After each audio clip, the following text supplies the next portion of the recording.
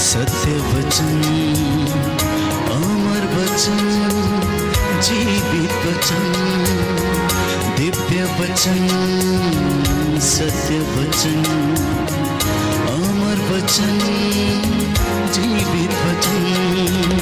साई रबामा बनी रबामा बगैर जनी जनी जनी दिव्य वचन सत्य वचन।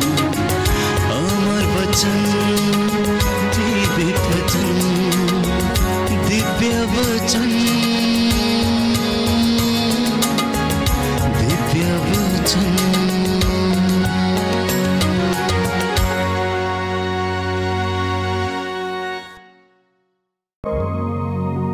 प्रभु से कहना कि प्रभु, मेरी पीड़ा का अंत क्यों नहीं होता? प्रभु से कहना कि मेरे सवालों के जवाब मुझे क्यों नहीं मिलते हैं?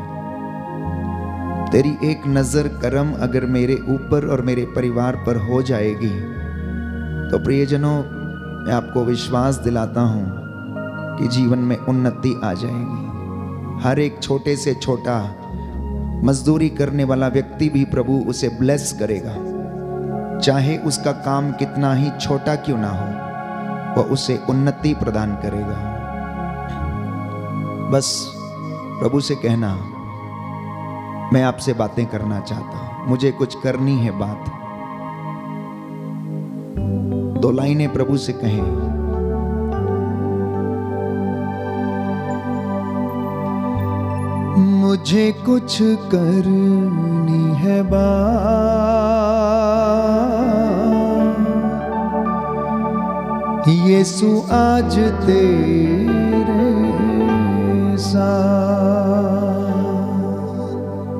जब यीशु मसीह आदत के अनुसार एकांत में पहाड़ी पर जाया करते थे, वो पिता से यूँ ही बातें किया करते थे। और वो पिता से पूछते थे कि पिता मुझे बता, आज क्या होने वाला है? आज तू कैसे अपनी महिमा प्रकट करेगा? पिता प्यारे भाइयों और बहनों, मैं समझता हूँ कि जब यीशु एकांत में प्रार्थना करता था तो यीशु को ढारस बंधा के भेजते होंगे। यीशु चिंता ना कर, मैं तेरे साथ रहूँगा। जब तू कोढ़ी को आशीर्वाद देगा, मैं साथ रहूँगा। लाजर को ज़िंदा तू करेगा, उस वक्त मैं मौजूद रहूँगा। अब जानते हैं आप लोग? कि यीशु ने कहा, पिता, ये उचित घड़ी है तेरी महिमा प्रकट करने के लिए। और इसीलिए उसने लाजर को ज़िंदा किया। इसलिए प्रभु से कहना, मुझे कुछ बात करनी है आज आपसे। वो आपको मशवरा देगा, नौकरी क्यों नहीं मिलती? काम सफल क्यों नहीं होता? आपकी मजदूरी और मेहनत, आशीष उसमें क्यों नहीं आती? आपकी फ़सल को कीड़ा क्यों लग जाता है? टिड्डियाँ आपकी फ़सल क्यों खा जाती हैं? हमारे जानवर क्यों बचते नहीं हैं? प्रभु सब समझाएगा, सब बताएगा। मुझे कुछ करनी है बात। यीशु आज तेरे साथ। मुझे कुछ करनी है बात। यीशु आज तेरे साथ। मैं जानता हूँ बहुत सारे लोगों के आँसू इस वक्त निकल रहे हैं, क्योंकि प्रभु आपको बता रहा है, बेटा बेटा, ओ बेटी, तू इस जगह पे अधूरा है, तू इस जगह पे अधूरी है। तू जानना चाहता है कि तेरे जीवन में आशीष क्यों नहीं है, बरकत क्यों नहीं है? तू जा। और मेरे पीछे चल। अपना क्रूस उठा और मेरे पीछे चल। रूका सुरूर दे, मसा भरपूर दे। रूका सुरूर दे, मसा भरपूर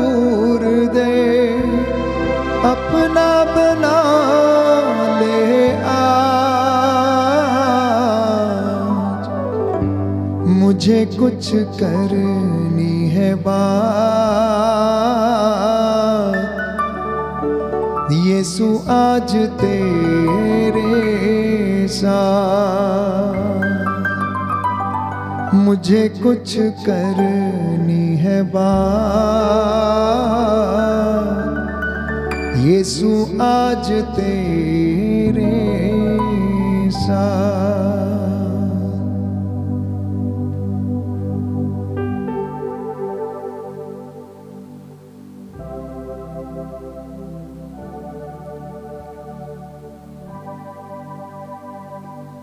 हालेलुया हालेलुया यीशु की स्तुति हो यीशु को धन्यवाद यीशु की आराधना हो यीशु की महिमा हो यीशु को धन्यवाद hallelujah hallelujah hallelujah hallelujah hallelujah hallelujah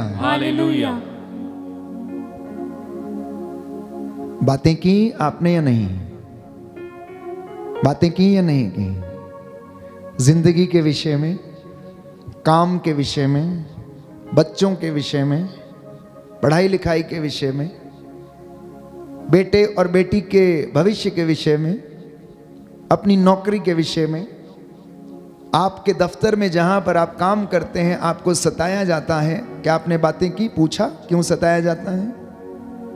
क्या आपने पूछा, क्यों मैं सफल नहीं होता हूँ? क्या आपने पूछा कि मैं संतान उत्पन्न क्यों नहीं कर पा रहा हूँ? क्या आपने पूछा कि मेरे बच्चे मेरा आदर क्यों नहीं करते? क्या आपने पूछा कि मेरे परिवार में नशे की समस्या क्यों है? क्या आपने पूछा कि मैं अपने जीवन में आध्यात्मिक उन्नति क्यों नहीं कर पा रहा हूँ? अगर पूछा है, दिल से पूछा है तो जवाब अवश्य मिलेगा। और अब प्रभु आपको जवाब देने के लिए जा रहा है। जितने सवाल आपने पूछे हैं, अब आप ध्यान से इसका जवाब सुनना। पवित्र साक्रामेंट आपके सामने है। प्यारे भाइयों और बहनों, उसमें प्रभु यीशु मौजूद है। वो आज अपने दास के द्वारा वैसे ही बोलता है, जैसे वो कफरनहूम और गलीलिया और यरूशलेम के और अनेक प्रांतों में घूम घूम कर बोला करता था। क्योंकि आज वो अपने दासों की ज़ुबान को इस्तेमाल करता और इस वचन के द्वारा आपसे बातें करना चाहता है और आपके सवालों के जवाब वो देना चाहता है। परमेश्वर का वचन हमें बताता है कि मसीहों के लिए परमेश्वर ने आशामय योजना बनाई, उनके भविष्य की योजना बनाई और कहता है यर्मिया नबी के ग्रंथ में अध्याय 29 पद संख्या 11 में कि मैं तेरे लिए तेरे आशा में भविष्य की योजनाओं को बनाता हूँ। जब तू मुझे पुकारेगा, जब तू मुझे ढूंढेगा तो मैं तुझे मिल जाऊँगा और मैं तुझे ऐसी महान और रहस्यमयी बातें बताऊँगा जिनको तू अभी नहीं समझता है। You do not know you don't understand now but you will understand the time will come the day will come the Holy Spirit will make you to understand the things of the Lord जो आपसे वो कहना चाहता है वो आपको बताएगा और कहता है अगर तुम विश्वास करोगे अगर तुम उसे स्वीकार करोगे अगर तुम उसे ग्रहण करोगे तो मैं तुम्हारा भाग्य पलट दूँगा। बोलो आमेन। हालेलुया। हालेलुया। यीशु की स्तुति हो। यीशु की स्तुति यीशु को धन्यवाद। यीशु को धन्यवाद। यीशु की आराधना हो। यीशु की आराधना यीशु की महिमा हो। यीशु की महिमा यीशु को धन्यवाद। यीशु को धन्यवाद। हालेलुया। हालेलुया। हालेलुया। हालेलुया। तो मसीहों को परमेश्वर ने किसके लिए बुलाया? उज्जवल भविष्य के लिए आशामय जीवन के लिए निराशा के लिए नहीं जीवन देने के लिए बुलाया मारने के लिए नहीं उन्नति के लिए बुलाया अवनति के लिए नहीं ऊपर उठने के लिए बुलाया, नीचे गिरने के लिए नहीं बुलाया। परमेश्वर ने आपको चुना, उसने अन्य राष्ट्रों से आप लोगों को अलग किया, क्योंकि वो आपसे प्रेम करता था। लेकिन इजरायली एक गलती कर गए इजरायली एक गलती कर गए इजरायलियों को जब वो मिश्र की दास्ता में थे, परमेश्वर ने दस बड़े चमत्कार दिखाए। फिराउन ने भी वो चमत्कार देखे। और ग्यारहवा चमत्कार, प्यारे भाइयों और बहनों, लाल सागर में परमेश्वर ने रास्ता बनाकर इसराइलियों को वो चमत्कार दिखाया। वो ग्यारहवा चमत्कार था। लेकिन इसके बावजूद भी वे लोग ईश्वर की बातों को समझ नहीं पाए। इतने बड़े बड़े चिन्ह और चमत्कार दिखाने के बावजूद, प्यारे भाइयों और बहनों, वे लोग परमेश्वर पर भरोसा करने में असमर्थ रहे।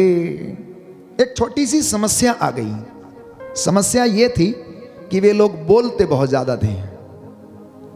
और दूसरी समस्या यह थी कि वे निंदा करने में पीछे नहीं हटते थे। और तीसरी समस्या यह थी कि वे मूसा को बार बार उसका अनादर करते थे। चौथी बात यह थी कि वे लोग ईश्वर पर भरोसा नहीं करते थे।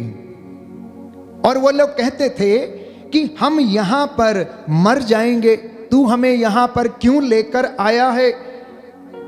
अच्छा यही था कि हम मिश्र की गुलामी में थे। वहाँ हमें मोटी मोटी हड्डियाँ और मांस खाने को मिलता था। हमारा पेट भर जाता था, लेकिन हम यहाँ पर क्या कर रहे हैं? मर रहे हैं। भूखों मर रहे हैं।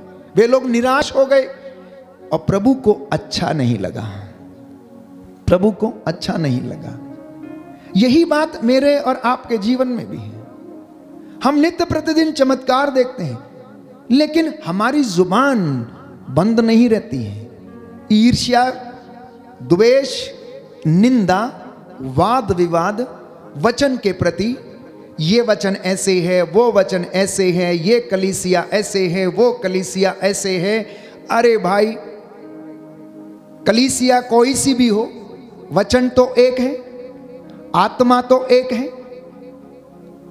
प्रभु यीशु एक है। आप इन सारी बातों को भूलकर उस पवित्र तृत्व में, पिता ईश्वर में, पुत्र परमेश्वर में और पवित्र आत्मा में विश्वास करेंगे तो आप उद्धार पाएँगे। और इसके विषय में प्यारे भाइयों और बहनों, बाइबल हमें बताती हैं, संत पौलुस तिमोती को लिखता है कि आप लोग वाद विवाद में ना पड़े।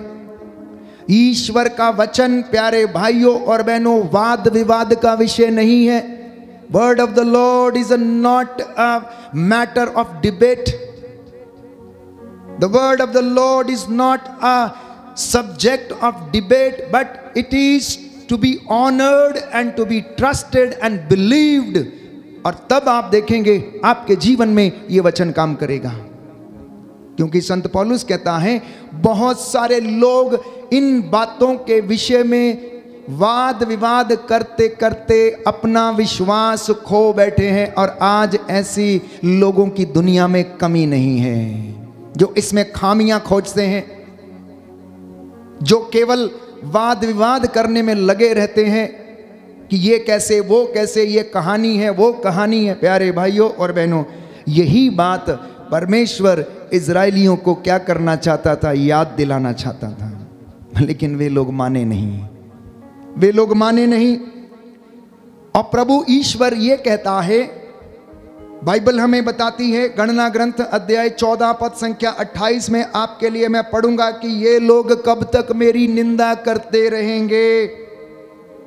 ये लोग कब तक मेरी निंदा करते रहेंगे, प्रभु का वचन कहता है, प्यारे भाइयों और बहनों, क्योंकि प्रभु उनसे नाराज़ था।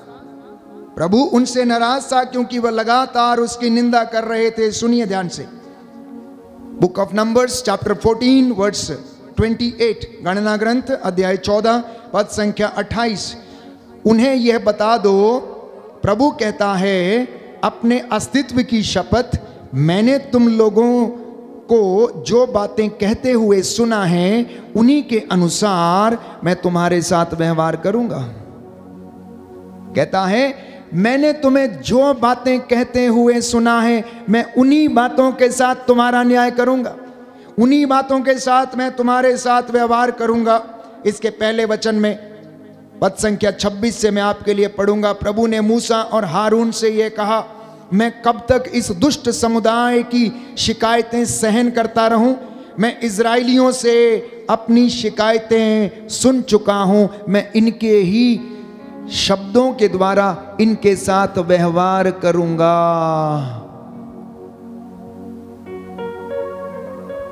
तो मैं समझता हूँ कि समझ में आया होगा। हमारे सवालों का जवाब मिला होगा कि हमारी ज़िंदगी में उन्नति क्यों नहीं हो रही है? क्योंकि परमेश्वर हमारी ही बातों के अनुसार हमसे व्यवहार कर रहा है। हम जैसा बो रहे हैं, वैसा काट रहे हैं। हम जैसा बो रहे हैं, वैसा ही काट रहे हैं। इसलिए प्यारे भाइयों और बहनों, हमारे ज़िंदगी में अगर अच्छा बो रहे हैं तो अच्छा हो रहा है। बुरा कर रहे हैं तो बुरा हो रहा है। इस विषय में आज प्रभु ने जो वचन दिया है, प्यारे भाइयों और बहनों, वो ये है कि मेरे इन बच्चों से कहो, जो बुराई करता है, उसे उससे हानि होती है। यद्यपि वह नहीं जानता कि वह कहाँ से आती है।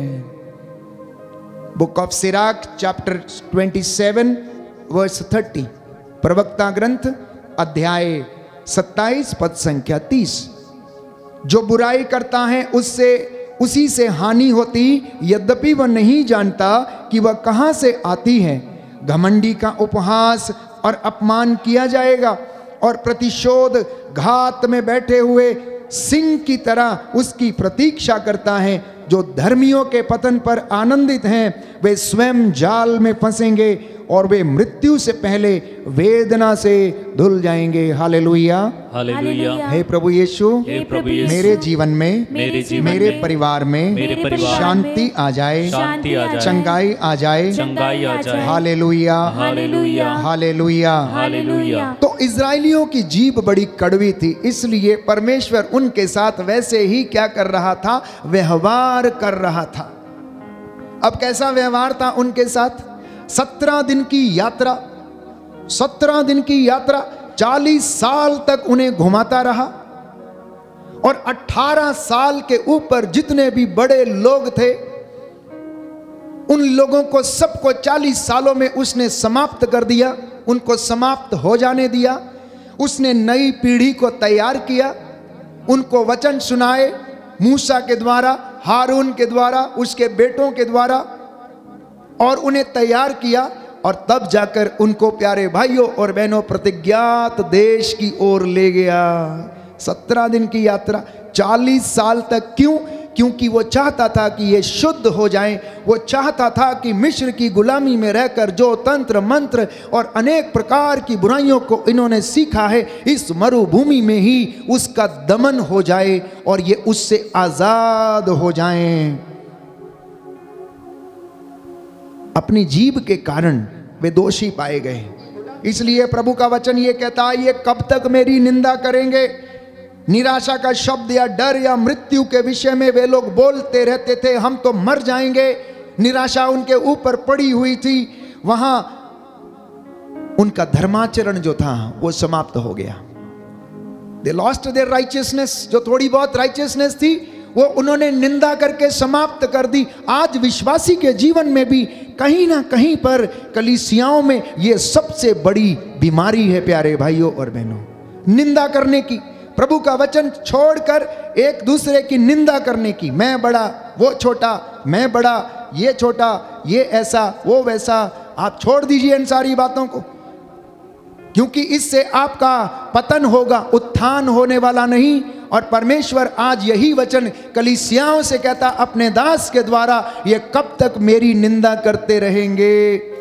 ये कब तक मेरी आज्ञा का उल्लंघन करेंगे? कब इन्हें होश आएगा? इसलिए बाइबल कहती है स्त्रोत संख्या 120 पद संख्या दो से चार में, ए कपटी जिभा तुम्हें कौन सा दंड दिया जाए? तुम्हें तुम्हारे साथ और क्या किया जाए? द सामिस्ट सेंस कि एक कपटी जीव तुझे कौन सा दंड दिया जाए? तू पूरे शरीर को कंट्रोल करती है। इंसान की पूरी ज़िंदगी के ऊपर तेरा अधिकार है। और तू इसे चलाती है, इसे तोड़ती है, इसे मरोड़ती है। और बाइबल कहती है, इस जीव के अंतर्गत श्राप और आशीर्वाद दोनों हैं। इस जीव के अधीन श्राप और आशीर्वाद दोनों हैं। भलाई और मृत्यु दोनों इस जीव के अधीन हैं। इसलिए मसीह लोग, चुने हुए लोग, विश्वासी लोग आशीर्वाद के लिए बुलाए गए हैं। लोगों को ब्लेस करने के लिए बुलाए गए हैं।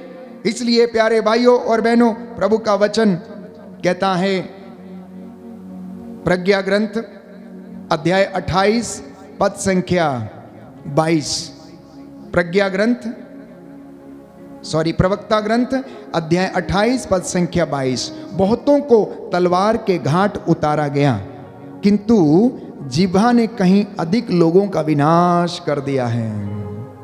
जीव ने कहीं अधिक लोगों का विनाश कर दिया है। इसलिए प्रभु यह चाहता है कि हम सबसे पहले अपनी इस जीव को शुद्ध करें और आपके जीवन में शांति आएगी, उन्नति आएगी। आपके बच्चे दुर्दिन नहीं देखेंगे, उन्नति देखेंगे। अगर आपको शक हो तो आजमा के देख लीजिए। प्रभु कहता है, आओ और परख कर देख लो। आओ और परख कर देख लो। यदि तुम ऐसा करोगे तो मैं अपने बादलों को आदेश दूँगा कि वह तुम पर उन्नति की वर्षा करेंगे। तुम पर उन्नति की वर्षा करेंगे। प्यारे भाइयों और बहनों, बाइबल हमें बताती है स्त्रोत संख्या बावन, पद संख्या चार में, कि विधर्मी, अत्याचारी तुम अपनी दुष्टता की ढींग क्यों मारते हो? ए कपटी जीव, तेज उस्तरे के जैसी हो तुम। कपटी जीवा, हर विनाशकारी बात तुम्हें प्रिय है और कई लोग अपनी जीव पर नियंत्रण नहीं रख पाते। इसलिए वे लोग क्या कर लेते हैं? अभिषेक खो देते हैं। अभिषेक खो देते हैं। They lose the anointing why because they utter उन बातों को बोलते हैं कि जो प्रभु को प्रिय नहीं है, जिनसे प्रभु को घृणा है इसराइली जीव खराब होने के कारण 40 साल तक मरुभूमि में भटकते रहे। बताइए। और कोई कारण था? बाइबल में आप ढूंढ सकते हैं, बहुत सारे कारण होंगे, लेकिन सबसे बड़ा कारण जो था, उनकी जीव खराब थी। वो निरंतर मूसा की निंदा करते थे, ईश्वर की निंदा करते थे, विश्वास नहीं करते थे बार बार यही कहते थे, हम मर जाएँगे, हम मर जाएँगे। और इसी निराशा में रहते थे। कभी आशामय जीवन के विषय में सोचा नहीं। उस परमेश्वर ने जिसने बड़े बड़े चमत्कार दिखाए और उन्हें लाल समुद्र से रास्ता निकाल कर पार करा दिया, फिर भी उन्हें समझ नहीं आया कि वो परमेश्वर जो बादल के खंबे के रूप में उनके आगे चलकर रास्ता दिखा रहा था, प्रकाश के स्तंभ के बीच के रूप में खड़ा होकर उन्हें पीछे से क्या कर रहा था, प्रकाश दे रहा था और फिराओं की सेना को रोके हुए था। उन्हें ये सब समझ में नहीं आया। यही दुर्गति आज बहुत सारे लोगों की है, प्यारे भाइयों और बहनों। इसलिए यदि आप चाहते हैं कि परमेश्वर आपको ब्लेस करे तो इन तमाम बातों से हमें ऊपर उठना होगा। इन तमाम बातों से ऊपर उठना होगा, क्योंकि बाइबल हमें कहती है Acts of the Apostles chapter 16 verse 31 Yeshu में विश्वास करोगे तो तुम और तुम्हारा परिवार मुक्ति प्राप्त करेगा। बोलो, आमेन। हालेलुया। हालेलुया। प्रभु का वचन कहता है। प्रभु का वचन कहता है। यदि तुम यदि तुम ईसा में विश्वास करोगे ईसा में विश्वास तो करोगे। तुम और तुम्हारा घराना तुम और तुम्हारा घराना मुक्ति प्राप्त करेगा। मुक्ति प्राप्त करेगा। Hallelujah. Hallelujah. Hallelujah. Hallelujah. Hallelujah. Hallelujah. तो ऐसी परिस्थिति में परमेश्वर के पास हमें आने की आवश्यकता, यीशु के पास हमें आने की आवश्यकता है। इब्रानियों का पत्र, अध्याय चार, पद संख्या सोलह, प्रभु का वचन ये कहता है, संत पौलुस कहता है, भरोसे के साथ, अनुग्रह के सिंहासन की ओर चलो, जहाँ से हमें दया मिलती है, जो हमारी आवश्यकताओं में हमारी सहायता करती है। ये कृपा हमारे लिए पर्याप्त है। हालाँकि हम नहीं जानते कि ये कृपा कैसे हमें मिलती है। आप दो घंटे आराधना में बिताते हैं, दो घंटे मेडिटेशन में बिताते हैं, आप शांत रहकर एकांत में प्रार्थना करते हैं और आपके ऊपर, प्यारे भाइयों और बहनों, वो अनॉइंटिंग वो मसा छाया रहता है। And you get charged by the Holy Spirit पवित्र आत्मा से हम चार्ज हो जाते हैं, भर जाते हैं। वो कृपा हमारे भीतर कार्य करने लगती है। इसलिए यीशु के पास आने की आवश्यकता है और वो हमारी ज़ुबान, हमारी आँखें, हमारे कान, हमारे होंठ और हमारे शरीर को शुद्ध करेगा। कैसे? वचन के द्वारा, प्यारे भाइयों और बहनों, क्योंकि वचन में जीवन निहित है। यीशु ने कहा, योहन के सुसमाचार में, अध्याय पंद्रह में कि जो शिक्षा मैंने तुम्हें दी है, तुम उसके द्वारा शुद्ध हुए हो, किसी दूसरी चीज़ के द्वारा नहीं। नहाने से कम साफ़ होते हैं। नहाने से केवल साफ़ होते हैं। बाहरी चीज़ हमारी साफ़ होती है। आंतरिक मन इनर कॉन्शियंस प्यारे भाइयों और बहनों, जब तक परमेश्वर कृपा ना करे, वह पवित्र नहीं हो सकता। इसलिए बाइबल कहती है कि जब तक ईश्वर आपको अपनी ओर आकर्षित ना करे, आप में से कोई भी विश्वास करने वाला नहीं बन सकता। ईश्वर को हमें अपनी ओर आकर्षित करने की ज़रूरत है। और वो कब हमें आकर्षित करता है? जब वो हमारा उत्साह देखता है, जब वो एक सच्चे खोजी को देखता है कि ये व्यक्ति बड़ी श्रद्धा, भक्ति और बड़ी कर्मठता के साथ परमेश्वर की खोज में लगा हुआ है। जैसा मैंने वचन पढ़ा आपके लिए कि ईश्वर ऐसे लोगों की तलाश में रहता है कि कोई ऐसा सच्चा व्यक्ति मिल जाए जो परमेश्वर की खोज कर रहा हो, जो उसे ढूंढ रहा हो। जो उसे ढूंढ रहा हो। मार्कुस के सुसमाचार, अध्याय नौ पद संख्या चार में हम पढ़ते हैं कि एक पिता यीशु के पास आया और बोला कि, मेरा बेटा, मिर्गी के दौरे के कारण क्या हो जाता है? बीमार हो जाता है। जब इसे मिर्गी का दौरा पड़ता है तो ये इधर उधर गिर पड़ता है। मैं आपके लिए वचन पढ़ूँगा। मार्कुस का सुसमाचार अध्याय नौ, पद संख्या चार, और उससे आगे हम प्रभु का वचन सुनेंगे। पद संख्या चौदह, अध्याय नौ, पद संख्या चौदह। जब वे शिष्यों के पास लौटे तो उन्होंने देखा कि बहुत से लोग उनके चारों ओर इकट्ठे हो गए, और कुछ शास्त्री उनसे विवाद कर रहे थे। ईसा को देखते ही लोग अचंभे में पड़ गए, और दौड़ते हुए उन्हें प्रणाम करने आए। ईसा ने उनसे कहा, पूछा, तुम लोग इनके साथ क्या विवाद कर रहे हो? भीड़ में से एक ने उत्तर दिया, गुरुवर, मैं अपने बेटे को, जो एक गुंगे अपदूत के वश में है, आपके पास ले आया हूँ। वह जहाँ कहीं उसे लगता है, उसे वहीं पटक देता है और लड़का फेन उगलता है, दांत पीसता है और उसके अंग अकड़ जाते हैं। मैंने आपके शिष्यों से उसे निकालने को कहा, परंतु वे ऐसा नहीं कर सके। ईसा ने उत्तर दिया, अविश्वासी पीढ़ी, मैं कब तक तुम्हारे साथ रहूँ? कब तक तुम्हें सहता रहूँ? उस लड़के को मेरे पास ले आओ। वे उसे ईसा के पास ले आए ईसा को देखते ही अपदूत ने लड़के को मरोड़ दिया। लड़का गिर गया और फेन उगलता हुआ भूमि पर लौटता रहा। ईसा ने उसके पिता से पूछा, इसे कब से ऐसा हो जाया करता है? उसने उत्तर दिया, बचपन से ही। अबदूत ने इसका विनाश करने के लिए इसे बार बार आग अथवा पानी में डाल दिया है। यदि आप कुछ कर सकें तो हम पर तरस खाकर हमारी सहायता कीजिए।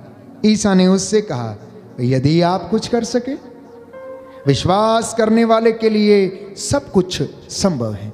विश्वास करने वाले के लिए सब कुछ संभव है।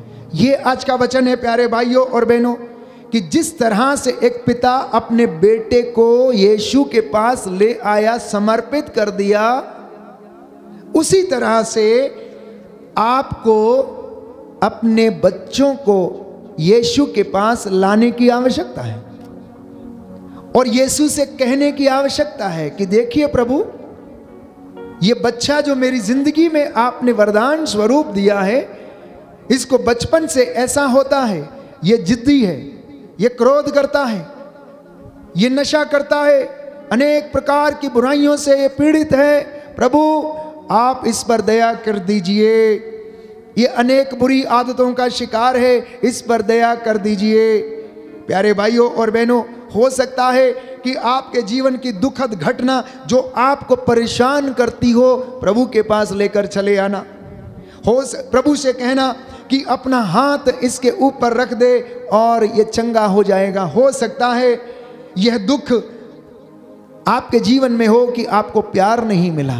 हो सकता पति का प्यार नहीं मिला, हो सकता पत्नी का प्यार नहीं मिला, हो सकता माँ का प्यार नहीं मिला, हो सकता है कि पिता का प्यार नहीं मिला है तो प्रभु के पास चले आना और वो आपको चंगा कर देगा। हो सकता है आपके बच्चे अच्छी पढ़ाई नहीं कर रहे हों। हो सकता है आपकी, आप अपनी जिम्मेदारियों को अच्छे से पूरा नहीं कर पा रहे हो तो प्रभु के पास आना। हो सकता है प्रार्थना आप नहीं कर पा रहे हैं प्रभु के पास आने की आवश्यकता है, प्यारे भाई और बहनों। तभी वो हमारे जीवन में कार्य कर सकता है।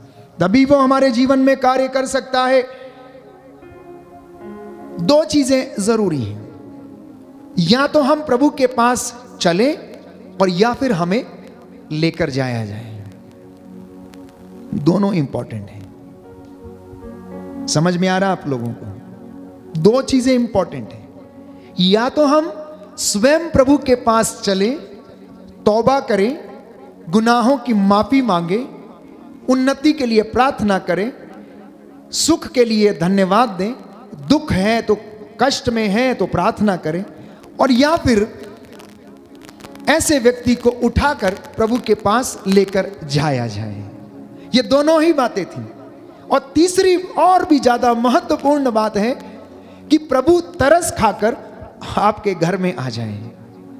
प्रभु तरस खाकर आपकी परिस्थिति में आ जाए। मैं तीनों उदाहरण आपके सामने रखना चाहूँगा, प्यारे भाइयों और बहनों, कि जब हम प्रभु के पास जाते हैं तो वो ब्लेस करता है। उसका एक उदाहरण, नाकेदार और फरीजी मंदिर में प्रार्थना करने के लिए गए। नाकेदार जो अपने आप को पापी समझता था, वो प्रभु के पास गया, उसने प्रार्थना किया उसने अपने गुनाहों के लिए माफ़ी मांगी। उसने अपने गुनाहों के लिए माफ़ी मांगी, छाती पीटी और यीशु ने कहा, तुम जानते हो कौन इनमें से अपने पाप क्षमा करवा के वापस गया?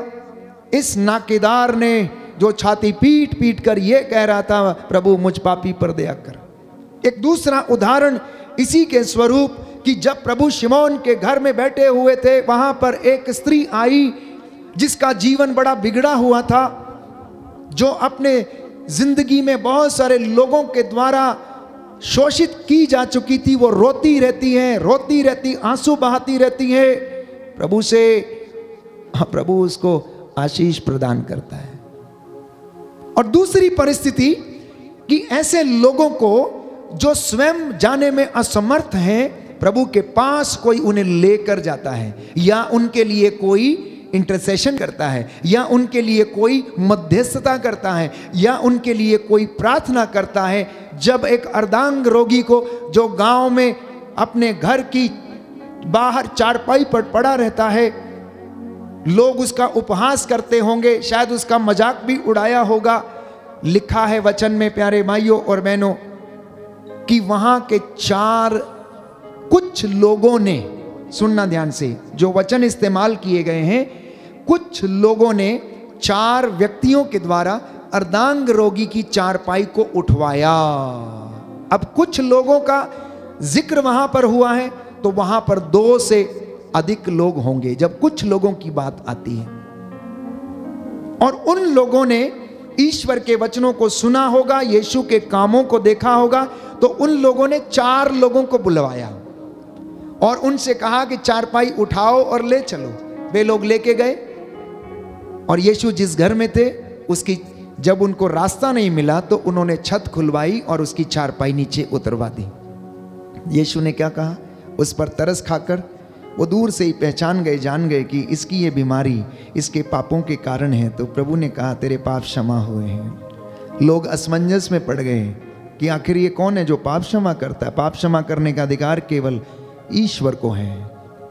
तो उसने कहा, क्या अधिक सहज है ये कहना कि तेरे पाप क्षमा हो गए या फिर ये कहना कि अपनी खाट उठा और घर जा? ये एक दूसरा उदाहरण था।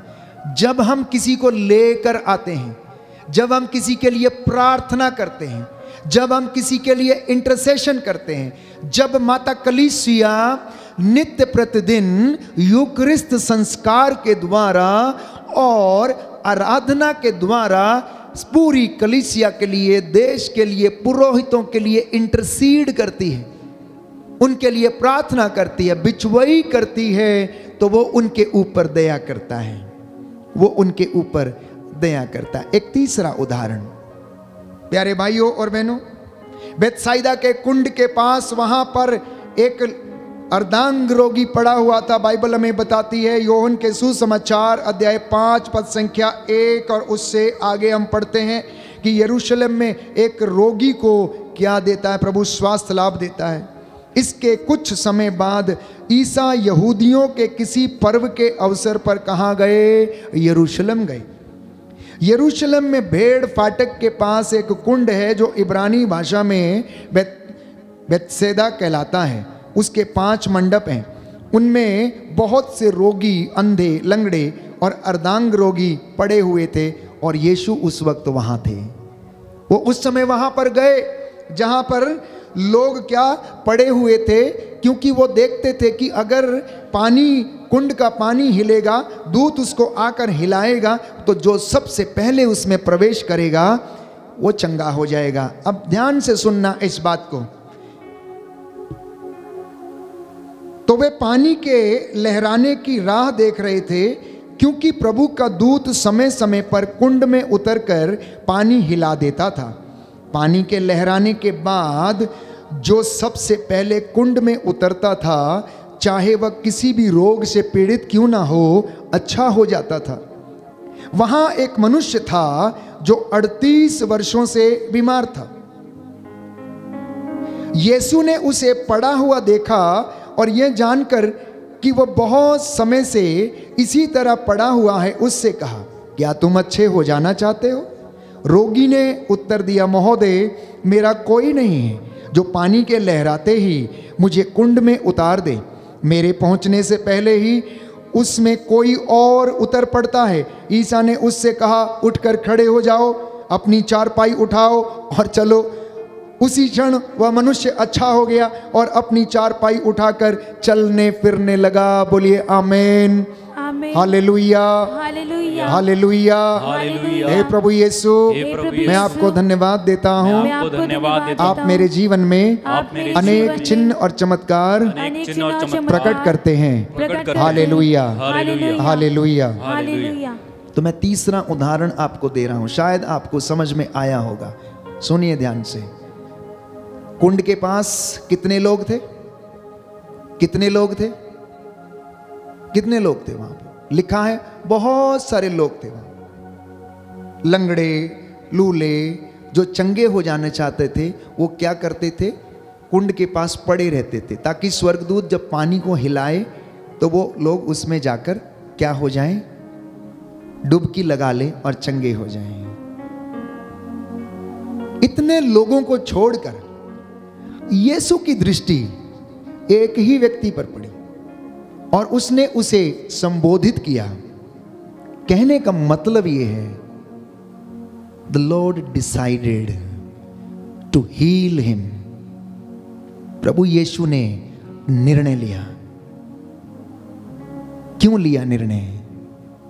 उसकी दशा को देखते हुए, उसके रिपेंटेंस को शायद देखते हुए।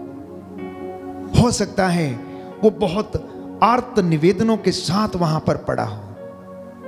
हो सकता है, जैसा उसने कहा कि मेरा कोई नहीं है, उसकी मजबूरी थी कि उसका कोई नहीं था जो उसको उठाकर कुंड में डाल दे। तो जिसका कोई नहीं है, उसका प्रभु है, ये प्रभु यीशु ने यहाँ पर प्यारे भाइयों और बहनों सिद्ध किया कि जिसका कोई नहीं है, उसका मैं हूँ। और यीशु ने निर्णय लिया, इतने लोगों को वहाँ पर छोड़कर उसने इस 38 बरस के अर्धांग रोगी को चंगा किया। कुंड में जाने की ज़रूरत ना पड़ी। उसने कहा, उठो और चलो। और उसी क्षण, प्यारे भाइयों और बहनों, वो उठ बैठा। तो जब प्रभु निर्णय लेता है, आपको चंगा करने का, आपको ब्लेस करने का तो कोई भी नहीं रोक सकता है। When he decides to bless you, no one can stop, my dear brothers and sisters. ये एक विश्वासी के मन में एक विश्वास होने की आवश्यकता है। और इसके लिए मुझे और आपको प्रयास करने की आवश्यकता है। नित्य प्रतिदिन हमें प्रयास करने की आवश्यकता है। नित्य प्रतिदिन हमें प्रयास करने की आवश्यकता है।